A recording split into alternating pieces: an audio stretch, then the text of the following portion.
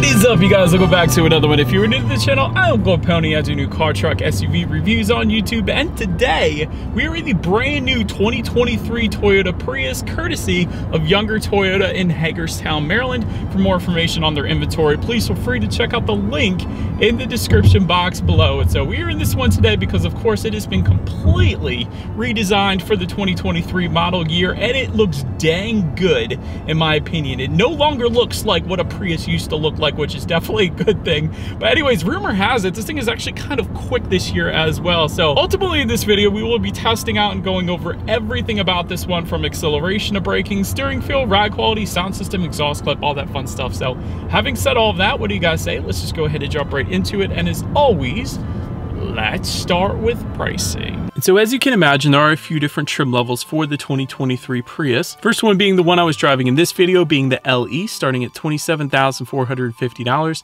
XLE for $30,895, and then the Limited starting at $34,465. And by the way, that was all pricing for the front wheel drive variant. If you wanted to add all wheel drive like we had in this drive, you can do that by simply adding $1,400 then to any of those prices. But regardless of trim level that you go with, the power plant is going to be the same. Powering the Beast is a 2 liter naturally aspirated inline 4 cylinder with a lithium ion battery, so it is a hybrid configuration, of course, putting out 196 horsepower for the all wheel drive, but then 194 horsepower, so slightly less, for the front wheel drive variant. 152 combined pound feet of torque, power sent to the front wheels or all wheels through a CVT, 0 to 60 time coming in at approximately 7.1 seconds, with a top speed, in case you were interested, of 115 miles per hour. MPG numbers are going to differ slightly as well 57 in the city, 56 on the highway for the front wheel drive LE, 52 city, 52 highway for the front wheel drive for the other trim levels. But then the all wheel drive LE is going to give you 53 in the city, 54 on the highway, but taking regular unleaded fuel. And so before we do that acceleration test, I did want to mention to you guys the drive modes. There's actually a little toggle switch located directly behind the shifter. If you play around with that, you got custom, sport, normal, and eco, but there is also a button for that full EV mode as well. So ultimately, those drive modes are going to adjust things like the shift points, the throttle response, and the steering sensitivity. So now having got all of that out of the way, what do you guys say? Let's go ahead and find a straightaway. Let's put the Prius here to the test in sport driving mode, and let's see if the rumors are correct, and let's see how quickly we can get our new 2023 Toyota Prius here up to speed. All right, you guys, in three, two, one, go. Whoa, that's an instant acceleration. Gotta love that hybrid. that is quick. That is quick. This is a fun Prius. I wasn't expecting that. I guess the rumors are correct. This thing definitely has a decent acceleration this time around. It's not just a fuel efficient car, although it still is, of course. Just take a look at the EPA numbers, but this is a fun car too, man. There's plenty of acceleration. Obviously, not gonna have any issues emerging onto the highway. And the best thing about the Prius is there wasn't any lag on that initial punch because it is a hybrid. So it is kind of instant acceleration, not to the point as a full EV would have, but still plenty of an acceleration instantly available. So I loved it. That was fun actually. But anyways, to go along with that acceleration, as always, braking is equally important. so when it comes to braking, up front you will find 11.1 inch ventilated front discs for the front wheel drive. However, those front discs are bumped up to 12 inches in the front if you were to go with the all-wheel drive configuration, but then 11 inch solid rear discs for all trim levels in the back, regardless of configuration. As far as that 60 0 stopping distance is going to come in at approximately 123 feet. And so as far as braking feel goes, since there is nobody behind us, let's just Whoa, that is brilliant. That is one of the better braking feels I've felt in a while. It brakes like a performance car, honestly. So it's not like a super firm braking feel. It's not a soft braking feel. It's a different braking feel and different in a very, very good way. It immediately brings you to a stop. That is wonderful. That's unlike anything I've driven in a while in terms of braking feel goes. So that is pretty cool, but Anyways, then touching on suspension and handling. Up front, you're going to get a MacPherson strut front suspension. In the back, independent multi-link rear suspension, front and rear stabilizer bars. And so as far as steering feel goes, actually, in sport driving mode, it does lean on the heavier side of things. I absolutely love this steering feel. I'm having trouble finding things I don't like about this new Prius, which is kind of it's kind of odd saying that phrase. But anyways, the steering feel is brilliant, not to the point of like a Tesla steering feel, which is super weighted, but um, I obviously I prefer that, but still, this is brilliant. This is a brilliant steering feel for the Prius, definitely on the heavier side of things. And actually, just for a little uh, experiment here, let's go ahead and put it in eco driving mode. It loosened up a little bit, but it's still kind of on the heavier side of things. I really like the steering feel in the Prius. Well done, Toyota. Did a wonderful job with that. As far as uh, cabin noise goes, that is one thing I did notice immediately. There is a, a decent amount of wind noise coming into the cabin. Not so much the road noise, but the wind noise. You do hear a little bit coming into the cabin, so I did want to mention that. As far as ride quality goes, now that has been perfectly fine in my short test drive. Uh, even for uh, kind of a compact car as it is, it's soaking up the road imperfections quite nicely, although these are some dang smooth roads right now. They were just freshly paved last month, but still, ride quality's been perfectly fine in my short test drive here. Touching on rear visibility, I can see pretty darn good out the back. It's not as bad as I thought it was gonna be, so rear visibility is perfectly fine, so don't have any issues there. And another thing, I kind of like where the gauges are sitting right here because it gives me better focus on what is in front of me in terms of forward visibility because the gauges are kind of in my line of sight, whereas with most vehicles, you do have to look down a decent amount more in order to uh, see what speed you're going. But with the gauges in the new Prius here, it's kind of just where I'm looking. I can just barely glance down, see my speed, and then look back up. So I actually love the gauge placement. I've seen mixed reviews on that just because of uh, the steering wheel doesn't adjust with the gauges. But for me, my driving position has been perfectly fine. But we'll get more into that a little bit later in the video. But that pretty much rounds out the performance segment of this review, guys. Let's go ahead and take a look at the exterior of our brand new 2023 Toyota Prius. All right, so here she is, you guys, the new completely redesigned for 2023 Toyota Prius with a lower roofline and a wider stance, making it for a much more aggressive look overall. I actually do like the styling of the new Prius. For once, it looks dang good. And so, as always, let's go ahead and start with where the new Prius is made. Taking a look at the VIN, first character is the letter J, indicating that the new 2023 Prius is built and assembled in Japan, a JDM Prius, love it. So up front you will find active grille shutters which will open and close depending upon the engine cooling that is needed at any given time. To the sides, bi-LED headlights do come standard on all trim levels across the board with LED daytime running lights and the automatic feature and automatic high beams as well. So if you have your high beams on at night and it senses a vehicle coming in the opposite direction, it's going to automatically dim them back to low beams. Then when that vehicle is gone, it's going to automatically bounce it back up to high beams for you there. So love that feature. And I do like the shape of the new headlights. They're kind of like a C-shaped look. So it looks very good in my opinion. So front end, it's definitely done very well. But then making our way to the side, gloss black window surrounds do come standard gloss black power adjustable side mirrors as well, which by the way, are heated for all trim levels.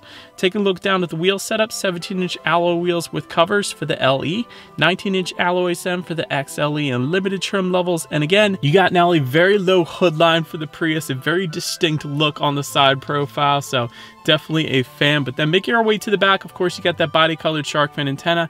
Got the Prius lettering spelled out horizontally. That definitely looks nice.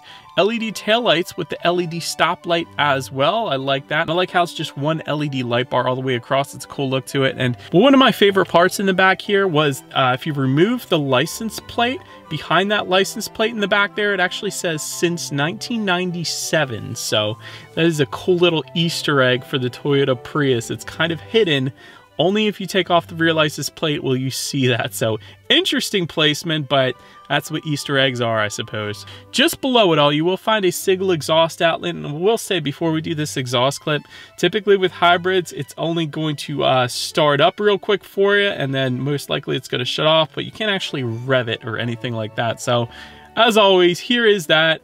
I won't call it an exhaust clip, but a startup.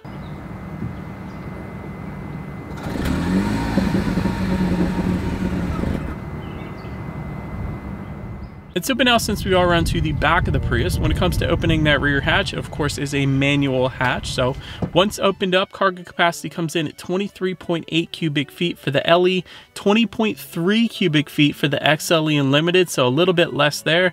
There is a 60-40 split though, meaning the rear seats do fold down for quite a bit of extra space then if you needed it.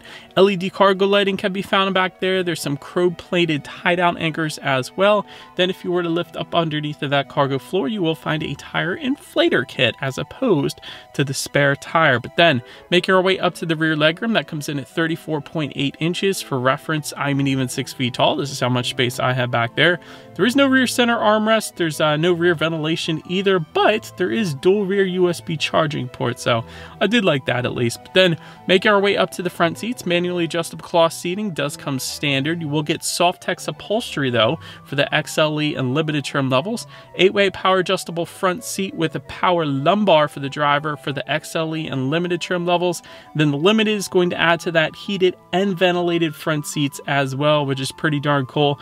Overall, seating was actually perfectly fine. I had no issues with seat comfort driving the Prius here. So then making our way to the steering wheel, it is tilt and telescoping. It will come with a Softex finish like the seating for the XLE and Limited, and it will be heated actually for the XLE and Limited trim levels as well. So then making our way to the startup, let me start by showing you guys the key. I like the Prius lettering on the one side. When you flip it over, pretty basic, lock, unlock, but it is all keyless entry with the push button start. So all I'm going to do is simply put my foot on the brake and press that engine start button kind of just by the driver's right knee there. And so once started up, I actually did like the gauge cluster. 7-inch LCD gauge cluster shows the digital speed kind of right in your line of vision as well. So I was a big fan of that. There are steering wheel mounted controls. So you can actually adjust a little bit what is on those gauges, but Overall, I like the placement of the gauges. Definitely helps better keep my eyes on the road, so I was a fan of that. But then making our way to overall interior quality, there is a fixed glass roof for the limited trim level. That's going to be optional on the XLE. We didn't have it in our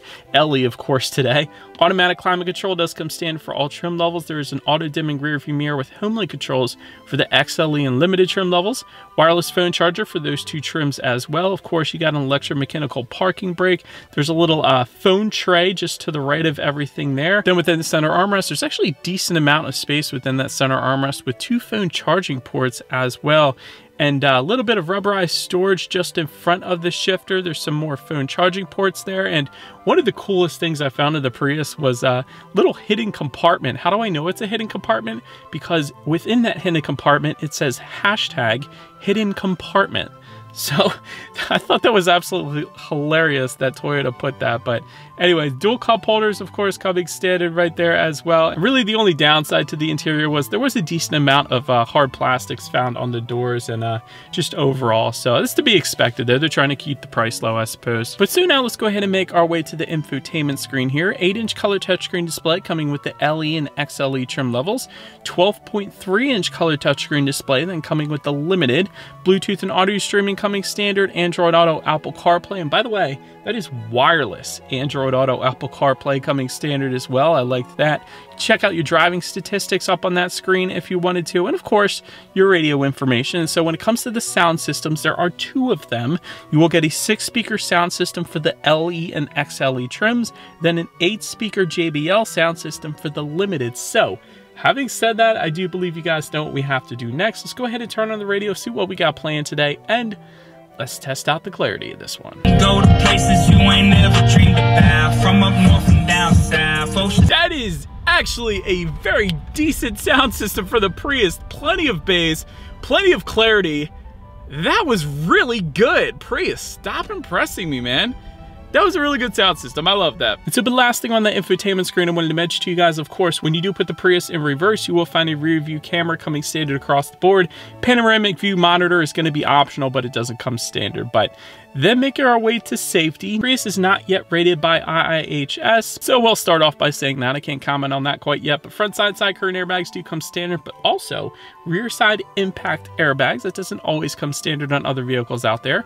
Also in the back, you're going to have latch, aka lower anchors to tethers for children for the rear car seats, rear child door locks, tire pressure monitoring system, but also coming standard, Toyota Safety Sense 3.0 for all trim levels, which will include a pre-collision system with pedestrian detection, dynamic radar cruise control, lane departure alert with steering assist, lane tracing assist, road sign assist, proactive driving assist, a blind spot monitoring system with rear cross traffic alert, and safe exit assist then as well. And then if you were to go with the XLE Limited, that is going to add to that front and rear parking sensors. And so overall, when it comes to my final thoughts of the Prius, it is kind of like a performance car now almost. It's a nice sports sedan, I'll put it that way. It's pretty darn quick. It has a great steering feel to it, nice heavy weight to it. The gauge placement is great as well. I keep telling you guys that. I like being able to actually see my speed and see the road at the same time. It looks dang good. This is a heck of an improvement over the old design of the Prius. Great MPGs, of course. You get over 50 miles per gallon. You can't beat that. As far as room for improvement goes, for me personally at least, I do wish it had a spare tire. I don't like the tire inflator kits, but I think most people are used to the spare tire and it's just easier for them like myself. So I would have preferred that. And there's a lot of cheap material on the interior of the Prius. As expected, I, I would imagine to keep the price low, but maybe that would change with the limited trim. I had the LE in this video, but I will say that there's a good bit of hard plastics in this one. And so, but that is about it for this one, you guys. Thank you so much for watching. Feel free to follow me on social media at the bottom of the screen if you want to see what's coming next on the channel before it gets to YouTube. Be sure to hit the subscribe and the bell notification button if you're into new car reviews, because that is what we do here on this channel after all. Do appreciate you guys watching more than you know, and I will see you guys all in the next video. Stay gold.